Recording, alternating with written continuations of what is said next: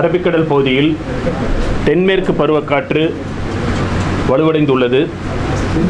மேலும் தென்னிந்தியாவின் தெற்கு பகுதியில் வளிமண்டலத்தின் கீழடுக்கில் கிழக்கு மேற்காக திசை மாறும் பகுதி நிலவுகிறது.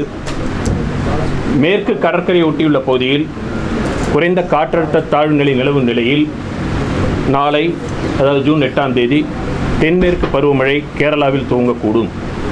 கடந்த இருபத்தி நான்கு மணி நேரத்தில் தமிழகத்தை பொறுத்தவரையில் ஓரிரு இடங்களில் வெப்பசலனத்தின் காரணமாக மழை பெய்துள்ளது. கன்னியாகுமரி மாவட்டத்தில் சுரலக்கோடு மற்றும் செவ்வலகத்தில் தலா ஒரு சென்டிமீட்டர் மழை பதிவாகியுள்ளது.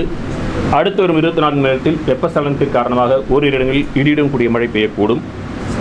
வெப்பநிலையை பொறுத்தவரையில் தமிழகத்து உள் மாவட்டங்களில் இரண்டு முதல் மூன்று டிகிரி வரை இயல்பை விட அதிகமாக பதிவாகக்கூடும்.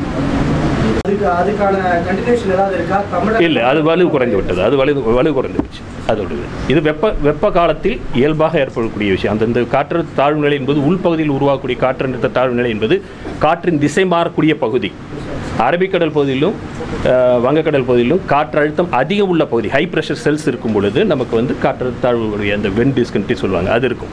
அது ஒரு நாள் இருக்கும் ஒரு நாள் மறையக்கூடியது தற்பொழுது நம்ம வந்து தென்மேற்கு பருவமழை கால காலம் ஆரம்ப காலகட்டம் துவங்குகிறது.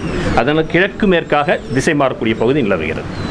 அது வந்து ஈஸ்ட் வெஸ்ட் ஷியர் ஜோன் சொல்லுவாங்க. அந்த ஈஸ்ட் வெஸ்ட் ஷியர் ஜோன்கிறது மூன்று புள்ளி ஒரு கிலோமீட்டர் தொலைவில் இருந்து ஐந்து புள்ளி ஒரு கிலோமீட்டர் வரைக்கும் இருக்கக்கூடிய பகுதியில் வளிமண்டலத்தின் கீழடுக்கில் காற்றின் திசை வேகம் மாறக்கூடிய பகுதி நிலவுகிறது. மேற்கு கடற்கரை ஒட்டி வெஸ்டர்ன் காட் கோஸ்ட் அதை ஒட்டி ஒரு குறைந்த காற்றத்தாழ்வு நிலை காரணமாக கன்வெக்ஷன்ஸ் நிறைய இருக்குது அரபிக்கடல் பகுதியில் காற்று தென்மேற்கு காற்று வலுவாக வீசக்கூடியது. கேரளாவில் மழை பெய்து கொண்டிருக்கிறது. இந்த நிலையில் நாளைக்கு சாதகமான சூழ்நிலை நிலவுகிறது. படிப்படியாக தான் குறையும். படிப்படியாக தான் குறையும். அடுத்து வந்து இந்த தென்மேற்கு பருவமழை இன்னும் நகர்ந்து வடக்கு சென்று நகர்ந்து செல்லும் பொழுது தான் நமக்கு உண்டு. அது படிப்படியாக தான் குறையும். பொதுவாகவே தென்மேற்கு பருவமழைங்கிறது முக்கிய காலம் வந்து கேரள பகுதிகளுக்கு தான். நம்ம வந்து தமிழக பொறுத்தவர்களுக்கு எல்லாருக்கும் தெரியும் அது வந்து மழை மறைவு பகுதியில் தான் நம்ம இருக்கிறோம்.